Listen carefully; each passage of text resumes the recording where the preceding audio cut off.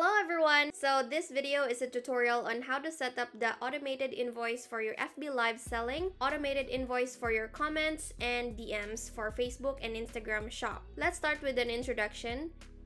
When a customer comments the product code in your Facebook Live selling or a normal post, our system detects the product code and send the automated invoice directly to their inbox. This is what it looks like. This feature is perfect for all the Facebook Live sellers and online sellers who wants their invoice to be automated since the customer can click the link and then pay by themselves immediately. So now I will show you how to set it up.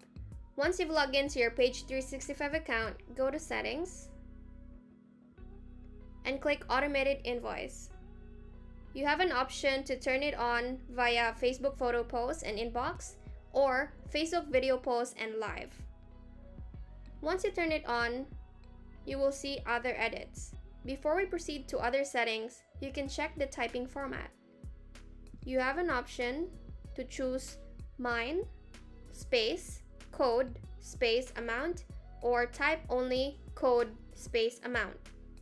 Please note that both typing formats can work without the amount if the customer only type mine space SKU and if the customer just write the SKU or the code, it still works. Once you've turned the auto invoicing, we have three cases that you can edit and customize by your own. One is when the product is available, two, product is out of stock, or number three, product is not found. Let's start with the product available. Once the system detects that the product is available in your inventory, it will automatically send the auto reply or the automated invoice like this. You can preview. You also have an option to create an unpaid order or create a draft order. When creating a draft order, the automated invoice will not be sent to customer's inbox but will appear in your order's draft. Once you're done, click OK. For the default shipping, you also have a choice to pick which default shipping you want to choose. Click OK. For the automated invoice that they receive, you can edit this to another setting or click Edit and go down to Order Status Update and change it here. Next would be case product out of stock. Once your inventory turns to zero, an automated message will be sent to the customer saying that the product that they want to order is already out of stock. You also have an option to create a draft order or do not create an order. And you can also edit the message that they will receive. You can preview it here.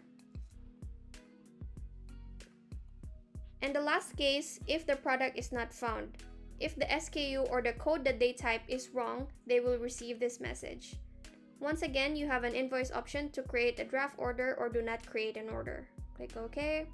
And then you can edit the auto reply that will be sent to them. You can click preview. All three cases have an option to be turned off or turned on. If you don't want customers to receive a product out of stock message, you can click here to turn it off. Once you finish setting up, you can check the conversations area and click on the automated invoice. All automated invoice will be recorded here and you can check which photo it came from or which Facebook Live it came from. You can also edit the invoice on this side like changing the shipping option or changing the shipping fee and just click save if you want to edit something.